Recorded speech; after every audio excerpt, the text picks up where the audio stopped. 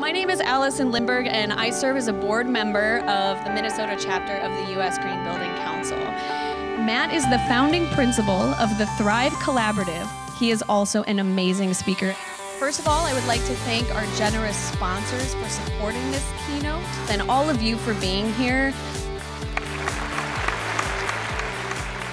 Join me in welcoming Matt as we conclude our Impact 2014 conference with his talk. Designing for the post carbon economy, it's zero or nothing. What I really want to make the case for today is that we need to design everything from our systems to how we run schools to our buildings to our refrigerators to our cars, everything. We need to design more like an old growth forest and less like a tree farm. Because monocrops fail. Everything that constantly needs external inputs over time fails despite that short term output. You can legibly figure out how much tree farm is producing until it's not it goes from great production to zero very, very quickly. But biodiversity, biodiversity thrives. Biodiversity and complexity actually breeds resilience. And that's the way nature designs things. So, complex systems, though, are not complicated systems. Our sewage treatment plants, our energy systems, those are complicated systems. They're not complex systems, they're actually overly simplified. And what happens with radically simple solutions, they always fail in nature, always. And when we become disconnected from these laws of physics, like 10 year old little boys, like this kid is thinking he's gonna have a great time. Water plus a 200 foot drop equals fun. But he doesn't understand the consequences of his actions. And I'll tell you, a lot of architects, the same thing, and designers and builders and people who create refrigerators and run schools and cities. We're also disconnected from these laws of physics. And we start designing buildings like this that people have dubbed the fry scrapers. And I say scrapers because he's actually designed multiple buildings that have done this. This is one in Las Vegas that was designed basically as a massive parabolic mirror that was frying Vegas tourists out by the pool.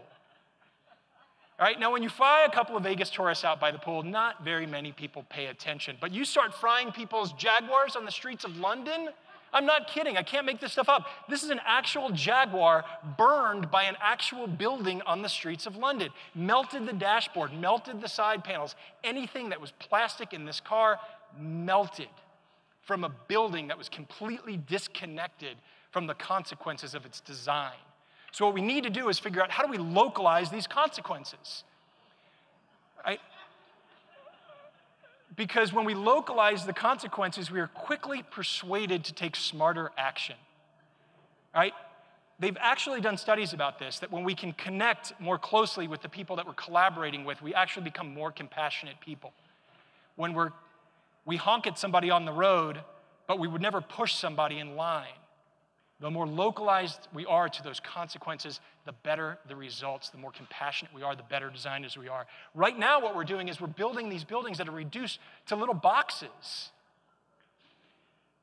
And they're little boxes that are just not networked. Everything is built on this grid pattern. So, what I contend is that whenever we design anything, whether it's a system or a product or our own homes, we have to ask a simple question is what we're building life degrading?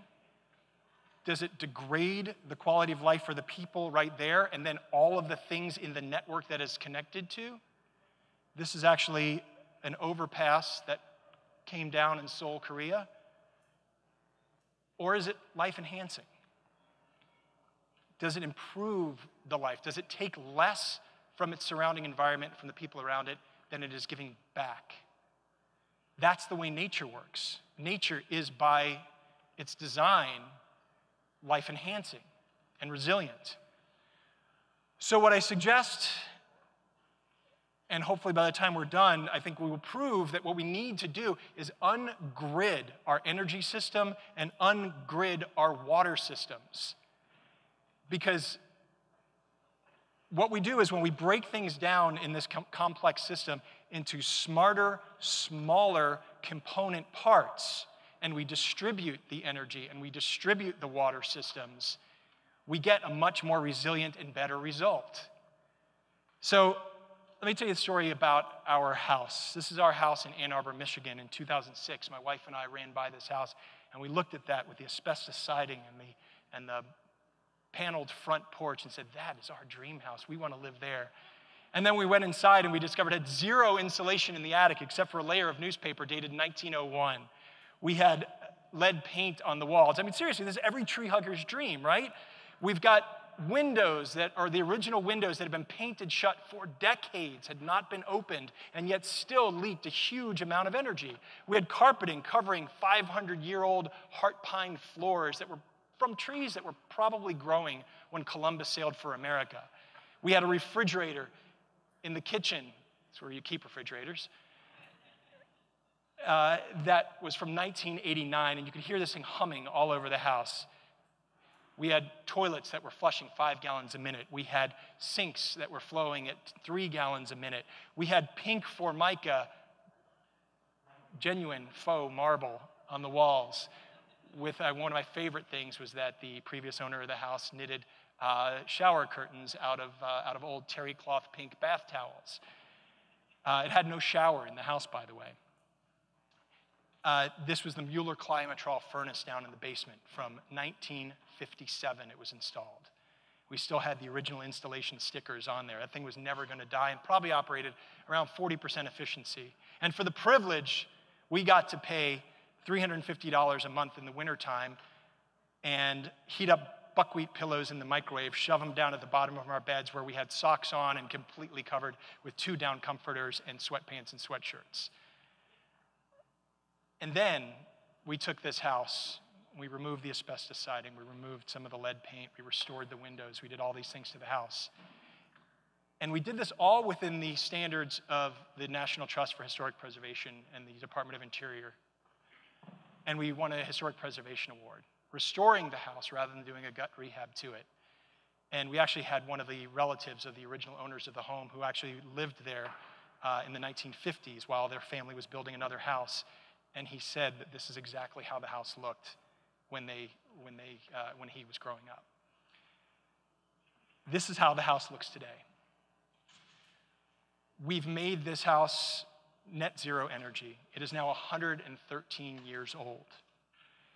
And because of this, we've started to get a lot of attention, and I've learned a lot of things. So we started a consulting company called Thrive, working with companies, working with, with, uh, with people who are developing homes, with office buildings. And, uh, and now Polymath, which its goal is to harvest materials from the city of Detroit to rehab materials in the city of Detroit, or buildings in the city of Detroit, and build new buildings that are all either net zero energy or living buildings. That is all we will do and work on. Either net zero energy or living buildings, because frankly, that is all we must be doing. And because of this, we've gotten a lot of attention. Like it's, my wife is just starting to realize that people around the country are listening to her home, which for her is just a home. But USA Today, The Atlantic, Fox Business News, magazines all over the place. My Ford magazine called me the, the number one electric innovator. Uh, I was called the proven zero energy master, uh, which is one of my favorites. Uh, we've been on the cover of books. We're in a full chapter in the new book, People Habitat. Chapter three is all about the work that I've been doing and on the house. Uh, magazines everywhere. I was even, you know, part of Fox News energy team. And, and even though I talked about how it's not about the insulation, it's not about solar panels, what this is really about is love. Because the space that we create our homes is just an opportunity to create the comfort so that we may experience joy and happiness. And they still invited me back anyway several times. And I've gotten to do uh, talks at Google as part of their video series. You can watch one of those online to learn a little bit more about the house and the AIA and all these other things all around the world. Uh, My Ford magazine put our family as a centerfold. By the way, that was during a drought. They photoshopped the green onto the brown grass. Uh, and then I went and said, hey, this is a really cool prototype of your new electric vehicle. Uh, let me take a test ride. And they said, no. I said, well, screw you. And we went and bought a Chevy Volt. Uh, so that's a Chevy Volt filling up with a tank full of sunshine. And then I was invited to give a TED talk called How to Destroy the Planet from the Comfort of Your Own Home. USA Today honored the house as one of the best greenhouses in America. uh, we were told that we had a lifestyle that was greener than grass. And this one I'm particularly proud of. How, how many people here are aware of the environment? Because you all deserve this award. This is a very low bar. This is from the Realtors Association. But they're giving awards for this stuff now. So uh, the Atlantic really flattered us with the phrase sustainable perfection, that our home was sustainable perfection. But I, I have something to share with you. It's all bullshit. There is no such thing as a sustainable building. There's actually no such thing as a sustainable anything, one thing, because all of life is sustained by underlying networks. That's how nature works. When we violate that, when we fail to produce complex systems, when we oversimplify things and make them complicated, but not complex, they fail. They need to recognize the components that make up complex networks. Benoit Mandelbrot, who was the father of fractal geometry, said that think not of what you see, but what it took to produce what you see. So when you see a field of snow in Minnesota, wait, I know that we shouldn't be talking about that right now. Forget, uh, think of another example of sand on a beach. Uh, I'm from Ann Arbor, so we had the worst winter ever, too.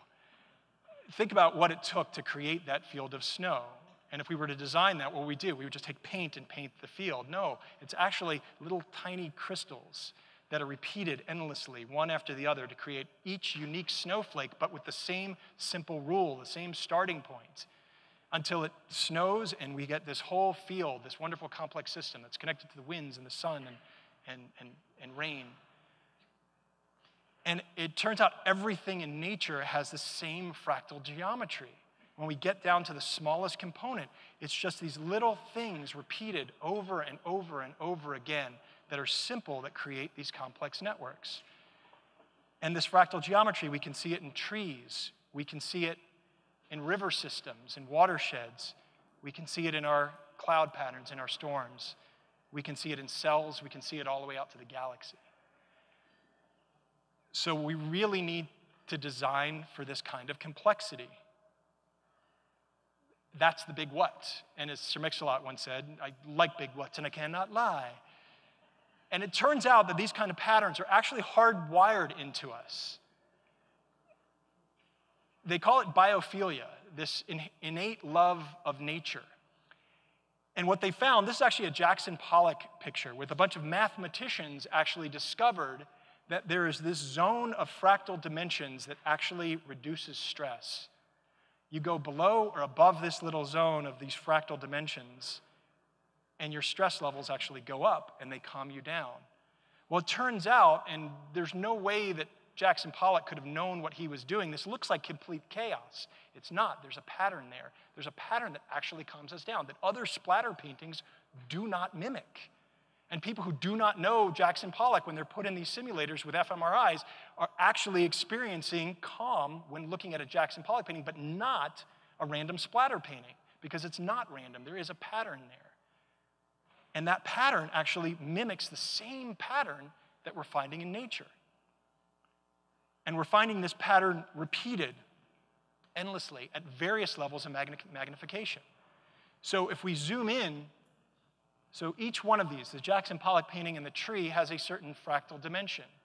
And if we just take a little point, portion of that and we zoom into it, it has the same fractal dimension. No matter how much you go in no matter how much you pull out, the fractal dimension remains the same. It's absolutely extraordinary to think about. So instead of asking what's the next big thing in designing net zero buildings, what we really need to be talking about is what's the next small thing? So the two big things, net zero energy, net zero water, that are absolutely vital. Net zero energy, I'm going to start with because net zero energy is not a challenge, it's a choice. All the technology we need, everything we need is there. It's also, and this is the most important thing you should take away, it's not optional. We have to do this. I was actually just out at uh, uh, Hetch Hetchy in, uh, uh, up by Yosemite Park. We drove for over an hour through burned out forests. completely burned out forests. They were literally in the cabin we were staying, 15 feet from the cabin were burned redwood trees. Drove for an hour through this. Just past that, that wasn't burned, were the power lines that go from Hetch Hetchy to the city of San Francisco. This is what is making officials in San Francisco, not earthquakes, this is what's making them crap their pants. If those power lines burn in one of these fires, it took two months for that fire to burn. They couldn't even get in there to repair the power lines. They would have lost power in the entire city of San Francisco for two months before they could start work repairing that system. This is a dangerous system we're playing with, these, this grid system. We need to distribute this energy. And then, when we pull out beyond that system and we look at what it takes on the planet, James Hansen and his crew, you've heard about this study for years now, basically said that in order to stabilize atmospheric CO2, keep that number below 450 parts per million, the climate requires that net CO2 emissions be reduced to near zero. I don't see this as a suggestion from these physicists and scientists.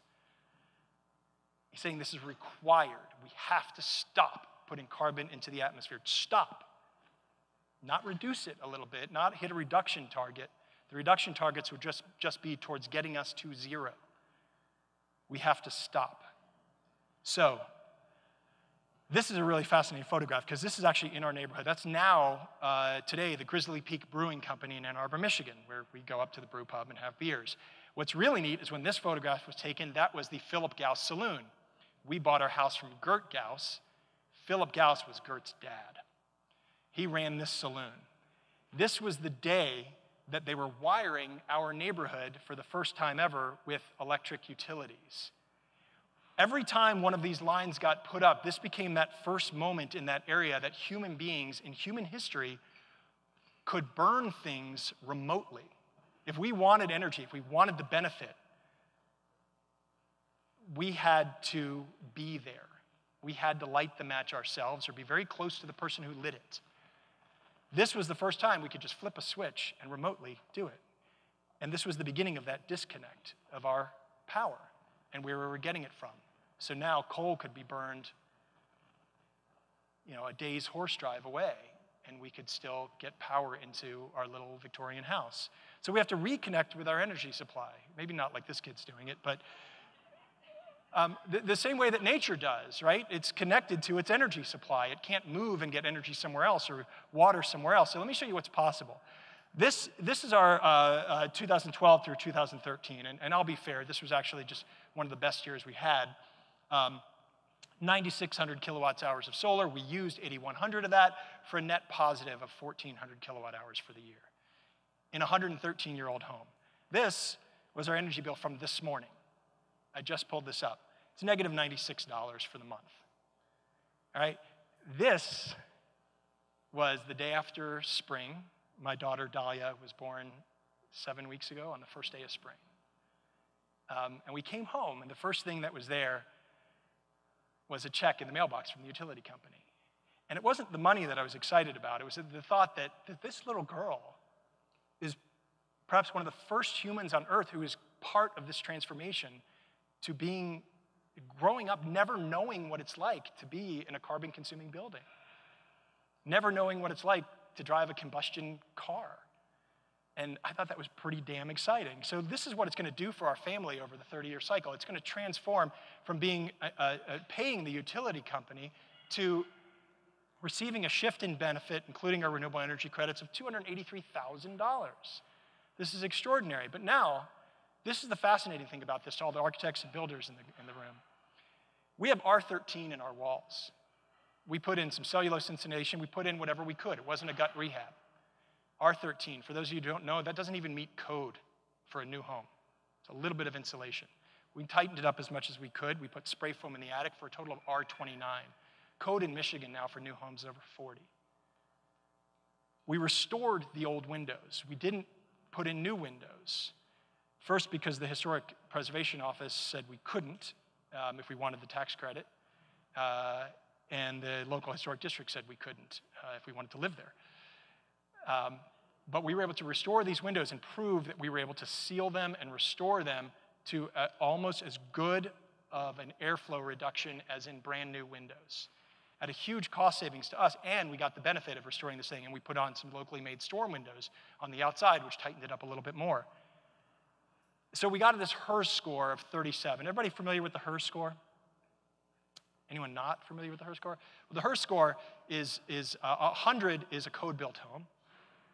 80 is 20% better than code, and that'll get you Energy Star. And zero is net zero energy. So after we became net zero energy, they did this rating and they looked at it and they said, oh, you're a HERS score of 37. I was like, wait a minute, but you know, but the data shows that we're zero. So the HERS scores is really missing something here. And it turns out when they did this analysis of the HERS ratings, they have a 43% margin of error. Is this really the target we should be using? You know, so things like CBECS and all these other things where we target old buildings, existing buildings, are irrelevant when your target is zero.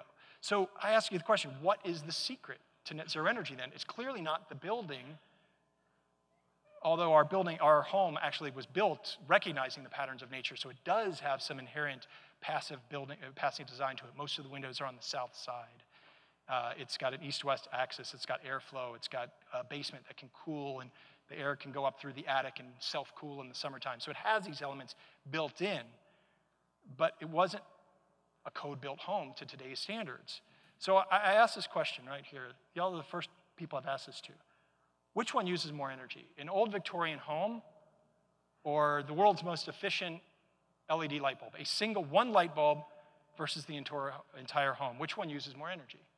Anyone?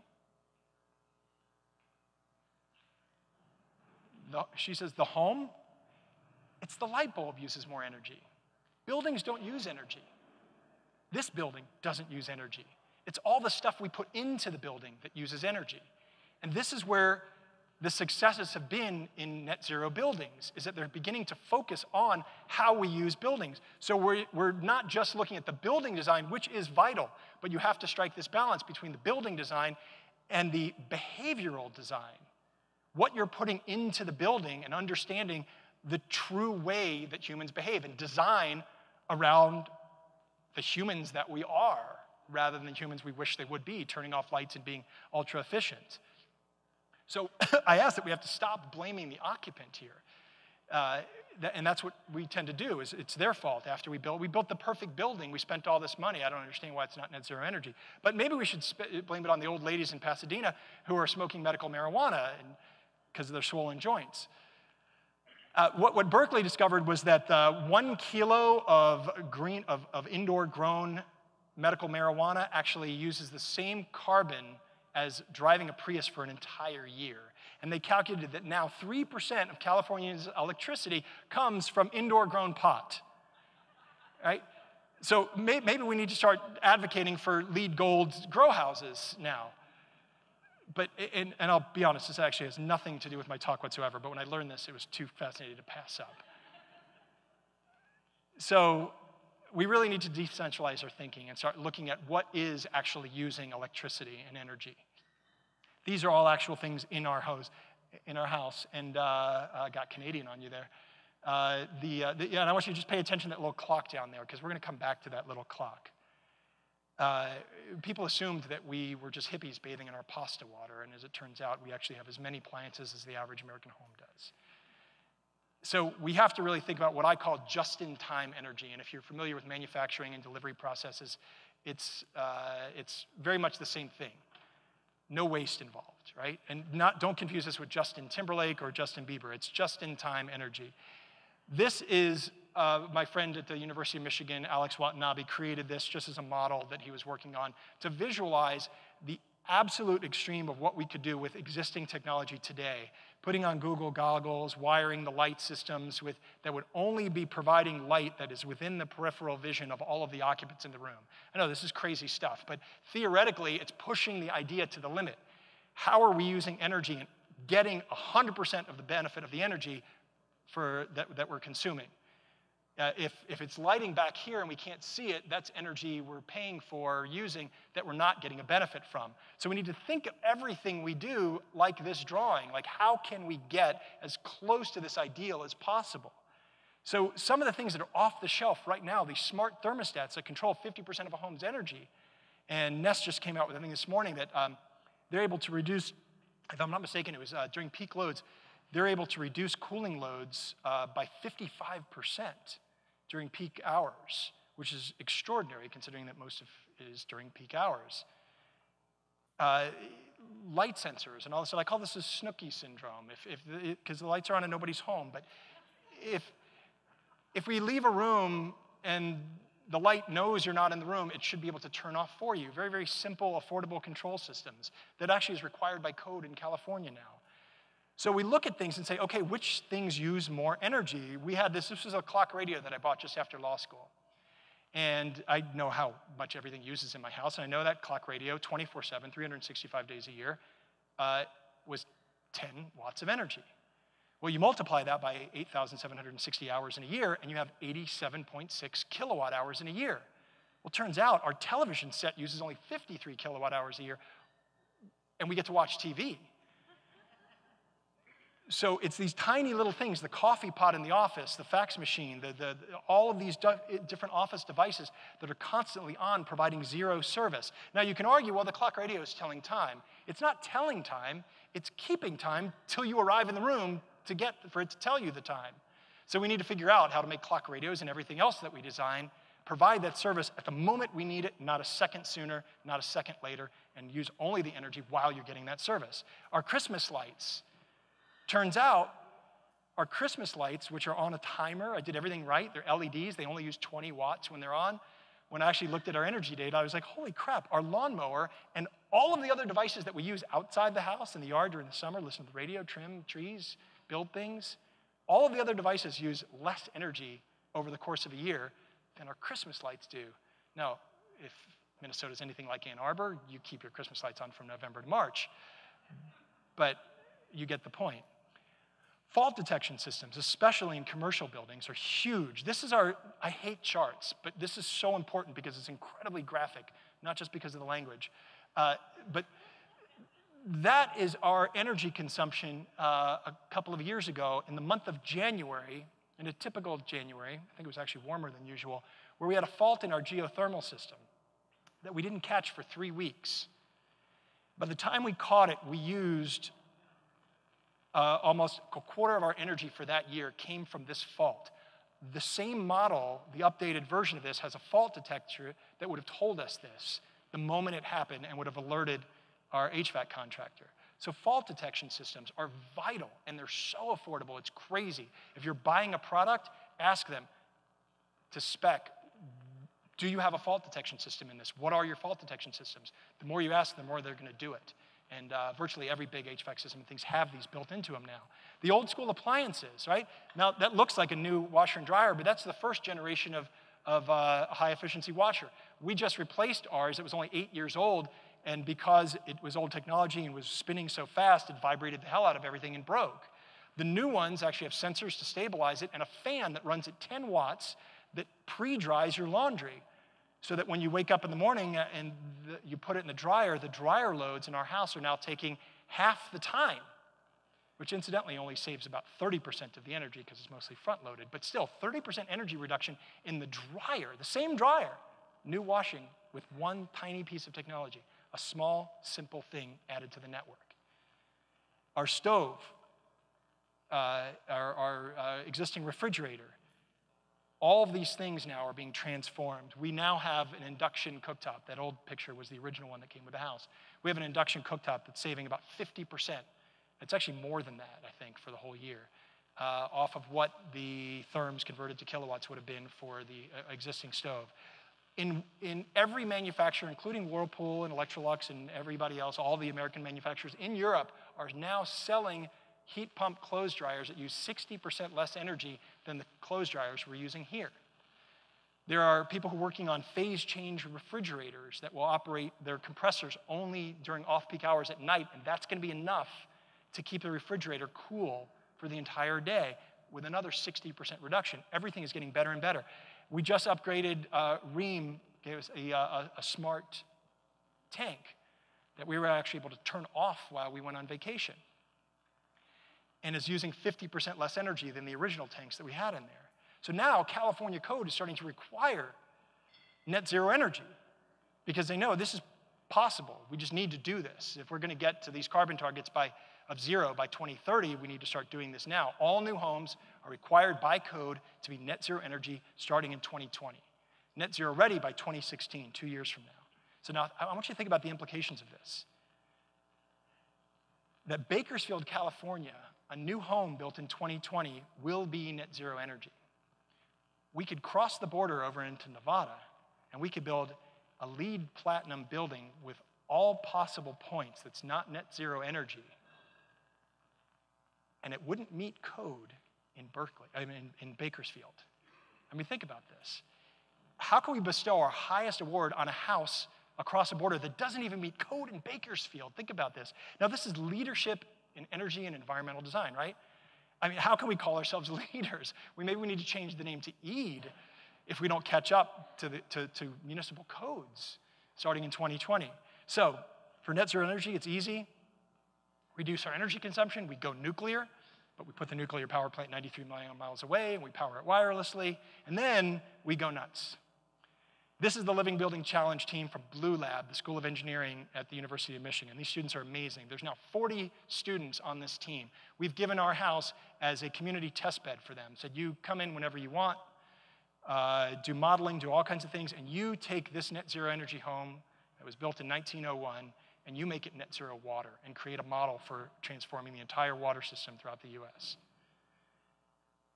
And they're doing it. So this is the real challenge is net zero water. How do we take this existing infrastructure and change it to net zero water? We can go 3 days without water. This is pretty darn important. So, like energy, net zero water is not optional. This is something that we have to achieve. Uh, Peter Gleick actually just recently ter- coined the term peak water, and he makes a very, very good case. And I was actually just meeting with somebody this morning here talking about how the state of Minnesota is a net water exporter. We are losing more water each year than is being replenished. And we're in the Great Lakes here. That's a very, very dangerous system. So, arguably, we have hit peak water even in Minnesota. The cool thing is, is that when our house was built, it was already net zero water. And so the students are actually trying to restore the ecological water flow of this site while we temporarily use some of the water. But at the time, this was uh, uh, Gert, the woman we bought the house from, Gert Gauss's older brother, Robert Gauss, uh, in 1913. There's the composting toilet back there. Um, uh, we had a well that brought up all the fresh water that needed to be, the, the, cistern was capturing rainwater to water the gardens and give water to the chickens and the dog in the back that you see there. We still have that lilac tree, by the way. Uh, and we look and we think, wow, you know, but, but who cares? You know, we've water. We're in the Midwest. We've got, we're in the Great Lakes. I mean, take a look at where our house is. It's right there on the mitten. Do you guys, you don't have a mitten here to give directions. Our house is right there, surrounded by 22% of the world's freshwater supply. We don't need to worry about water, but this is a zoom into Ann Arbor. And what all these beautiful colors are, there's our house there with the red arrow. We sit on top of what they call the Pall Gelman plume. Like many other cities around the world, uh, in the 1970s, dilution was a solution to pollution, so they were spraying 1,4-dioxane out onto the fields, which has now contaminated the groundwater in that entire green patch that you see, and it's moving towards the Huron River, Ann Arbor's sole remaining surface water supply. Right? This is not an uncommon problem. We're having this problem all over the world with polluting our groundwater and drawing more from the rivers than, they, than their actual flow rate. Uh, sadly, I've taken these out, but there, I used to show pictures of the Colorado River, the Yangtze, the Nile, every, the Mekong, every great river in the world that you learned about in your history books. And I show these pictures of these people standing in gullies in a desert. And those are the deltas of these great rivers. We're actually drying up these rivers, pulling more water out than they deliver back out to the ocean during sometimes a year. We're literally draining the world's rivers for our water supply because we have this simplified system. This is what a fractal watershed looks like. This is what a centralized water system looks like. This is Grand Rapids, Michigan. This is Grand Rapids, Michigan on climate change. Same water treatment plant that flooded in, uh, I think it was June or July of last year. Uh, we had massive floods, and people were kayaking in the streets, and they were like, don't kayak in the streets. And they're like, oh, it's perfectly safe. I have a life jacket on. It's like, no, you're, you're kayaking in sewage. So raw sewage is flowing through the streets when the, when the streets flood. Ann Arbor uh, last year dumped 10,000 gallons of water, of, uh, of sewage, untreated sewage into the Huron River, again, our sole water supply, of raw sewage during that same flood event. Uh, the American Society of Civil Engineers gives our wastewater management a D. They give our drinking water a D. So in Brazil, they've come up with a really great solution to solve all of our water problems. Uh, they're uh, telling everybody that they need to uh, pee in the shower. They're telling everybody so that look, look, monsters pee in the shower, uh, old people pee in the shower. Everybody, Michael Jordan pees in the shower, monsters pee in the shower, pop stars pee in the shower. Everybody pees in the, even Frankenstein pees in the shower. And if you two pee in the shower, if we all do this, we'd save a thousand liters of water every single year just by peeing in the shower. Look, even psycho killers do it, and King Kong does it. Everybody's peeing in the shower, so you should pee in the shower too. But the problem is not whether or not we're peeing in the shower. The problem is that we're peeing in our drinking water.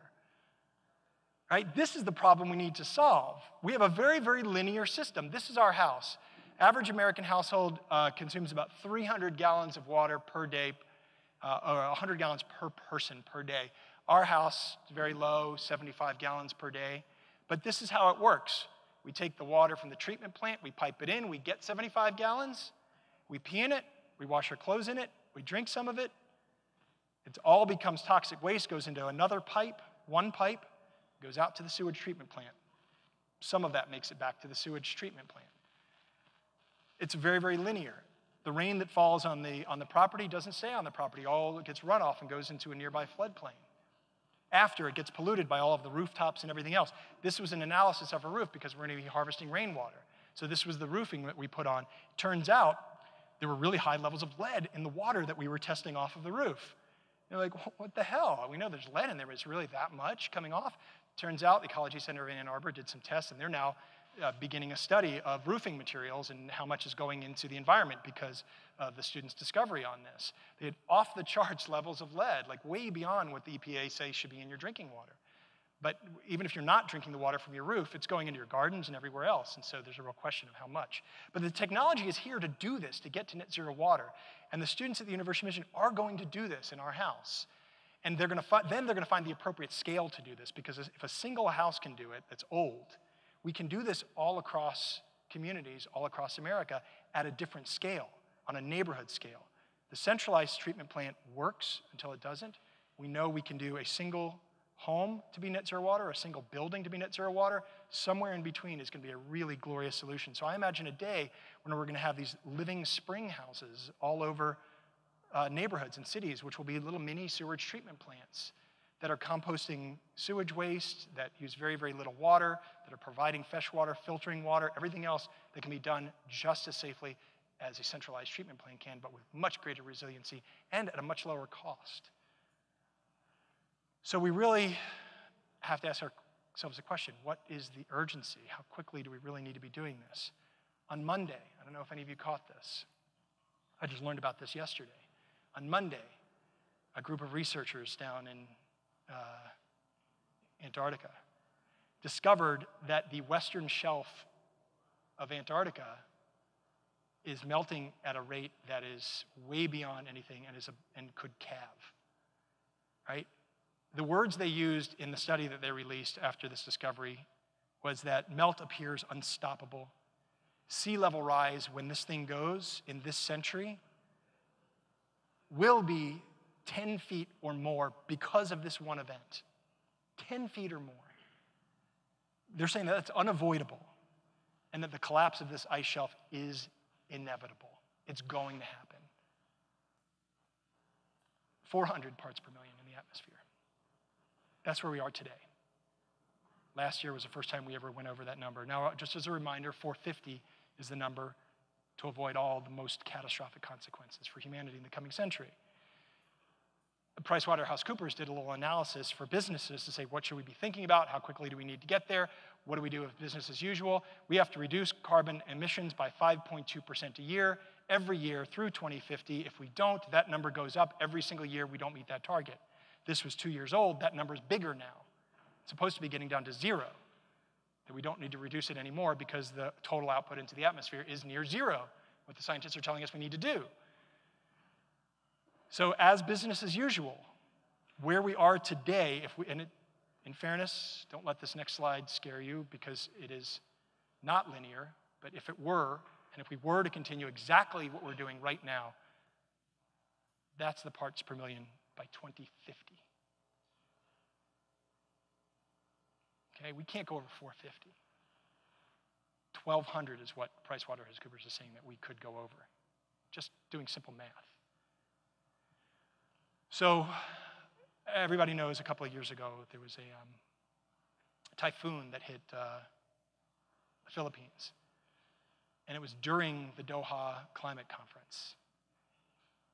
This was a speech given by the delegate from Doha, from uh, the Philippines, who incidentally, a year later, was at another climate conference. And during that climate conference, there was another typhoon that was worse than the one he's talking about here. An important backdrop for my delegation is the profound impacts of climate change that we are already confronting. And as we sit here every single hour, even as we vacillate and procrastinate here, we are suffering. Madam Chair, we have never had a typhoon like Bopha, which has wreaked havoc in a part of the country that has never seen a storm like this in half a century. Finally, Madam Chair, I'm making an urgent appeal, not as a negotiator, not as a leader of my delegation, but as a Filipino. I appeal to the whole world. I appeal to the leaders from all over the world to open our eyes to the stark reality that we face. I appeal to ministers. The outcome of our work is not about what our political masters want. It is about what is demanded of us by 7 billion people. I appeal to all Please, no more delays, no more excuses. Please let Doha be remembered as the place where we found the political will to turn things around.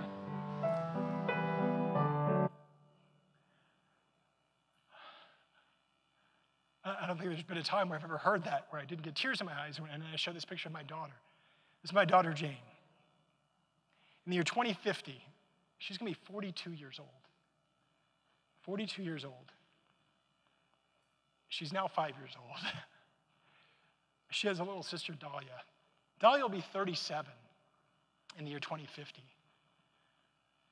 So, the work that we're doing is so incredibly urgent, and these goals are incredibly ambitious, but everything that we do in the USGBC, at Andersen Windows, every work that we, piece of work that we do has to have this sense of urgency to it.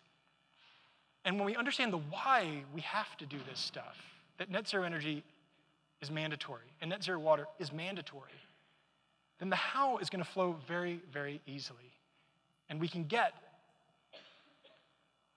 to zero output by the year 2030. And if there's any question of can we really make this happen this quickly, let's just take a, quick history lesson of just the city of Detroit, of how rapidly things can transform. This is Woodward Avenue, the main corridor that goes through the center of Detroit. Woodward Avenue has the distinction of being the first asphalt paved road in the world. This was 1908. There were no paved roads. It was also the year that Henry Ford started manufacturing his automobile. And who would have imagined that by 1920, this would be Woodward Avenue? I assume they picked the dead horse up off the road there. This is the city of Detroit. It took 200 years for it to become one of the largest, one of the most prosperous cities on the planet, fourth largest city in America. It's going to take only a few years to take some of the 70 to 80,000 abandoned homes, homes, and put them into landfill. This is the proposal now. They're taking all of these buildings and putting them into landfills. As one writer put it, going from a house to trash in the time that it takes to do a load of laundry. What if we really rethought what we're doing with these buildings and seeing how quickly things can go bad or go forward. This was just released this week from Google Maps. You can now go to a Google map and see a same spot and how it changes over time. This was 2009. This was 2011 in Detroit. This is 2009, and if you look at this photograph, you can see all of the trash cans all out there. People were living in these homes. That's 2011.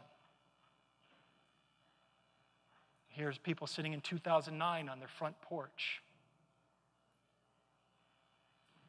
This is 2011. This is today. I know you're all looking at these pictures and thinking how sad it is, but I am, I, I, I'm not just saying this.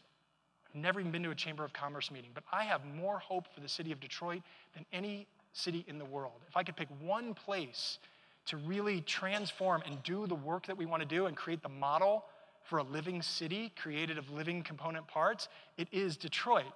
This is the Kendrick building several years ago, Kendrick Manufacturing. This is the Kendrick building now. This is the Book Cadillac Hotel.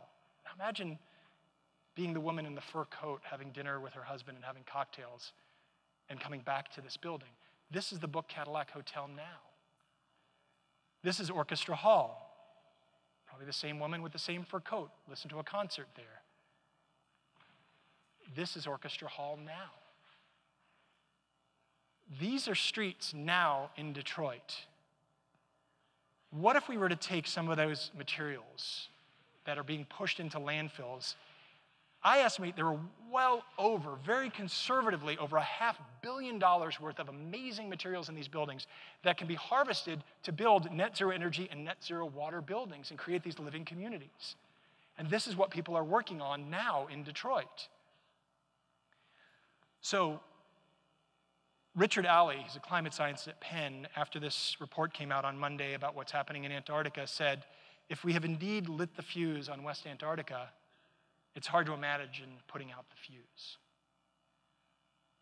But, he added, there's a bunch more fuses, there's a bunch more matches, and we have a decision now of do we light those? So every time we take an old home and rehab it to be 100% electricity, no combustion in the house, no gas, harvested all of its energy from the sun to be net zero energy, we choose not to light the next fuse. Every time a school, this is the Bertschi School in Seattle, decides to be net zero water and actually restore the ecological water flow while still getting the benefit of that natural rainfall on the site, they choose to not light the next fuse. Every time we create a building like the Bullitt Center in Seattle, a multi story office building that's life enhancing, that harvests its own energy, harvests its own water, we choose not to light the next fuse. And every time we create living buildings that are the least risk buildings we could possibly build, if the new Ford plant over here, if we create a place there, there actually people have said this when they talked about, oh, oh no, no, that's too risky to build like that. Risk? You want risk. Risk is doing things the way we've always done them. And I was astonished to learn that they actually tore down the entire factory, including the Albert Kahn section of that, and now it's just a big paved empty lot. So we're doing the same thing, shipping all those materials to landfills. So every time we build a living building, and if we choose to do this on the Ford property, we're choosing to be part of a transformation to communities that are socially just, that are culturally rich, and are ecologically restorative. And we choose not to light the next fuse and create a really, really beautiful, beautiful place and comfort where we can experience love and happiness and joy. So I can't even begin to tell you how vital the work that you're doing in this room is. I mean, vital. And the choices you make to moving us to happiness, whatever the weather. Those choices, the Chinese say the best time to plant a tree was 20 years ago. The second best time is now. So let's start now. And I'll finish with just this, and then I'll stay as long as you guys want to ask questions, because we should really have a great dialogue after this. Benoit Mandelbrot, again, the father of fractal geometry, said that bottomless wonders spring from simple rules which are repeated without end. So now let's get to work.